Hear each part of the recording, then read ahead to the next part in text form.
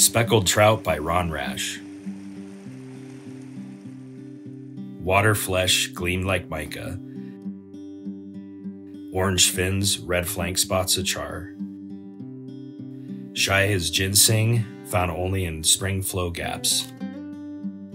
The thin clear of faraway creeks no map could name. My cousin showed me these hidden places. Just stream sound tangled in rhododendron. To where slow water opened a hole to slip a line in. And lift as from a well bright shadows of another world.